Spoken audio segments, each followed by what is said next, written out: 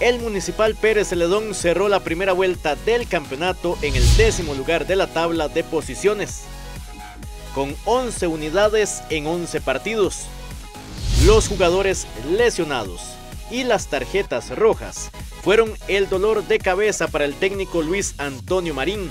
Y nosotros hemos tenido desgraciadamente un torneo muy irregular en cuanto a expulsiones y lesiones. Hoy teníamos prácticamente, aparte de las bajas que ya teníamos, que estaban Mauricio Núñez, Navarro, Axel, eh, Sebastián Monge, Cristian Flores. Un ejemplo fue la lista de bajas previo al compromiso contra San Carlos. Joshua Navarro se recupera de un esguince grado 2 de ligamento interno de la rodilla izquierda.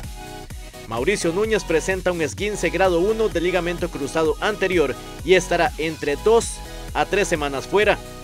Axel Amador presenta un esguince grado 1 en el colateral externo de rodilla izquierda y estará fuera también de 2 a 3 semanas. Sebastián Monge presenta molestias en la rodilla izquierda y Cristian Flores se recupera de una cirugía de rotura del ligamento cruzado anterior. También bajas por sanción, la de Randy Taylor suspendido por tres partidos. Y a esto se sumaron dos expulsados en el partido contra los Toros del Norte. Conformar un equipo base fue parte de las dificultades del cuerpo técnico de los Guerreros del Sur en la primera mitad del campeonato.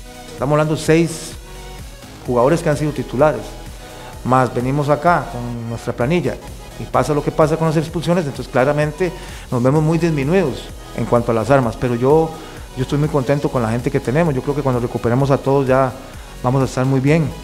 Los generaleños comienzan la segunda vuelta este sábado de local contra Cartaginés.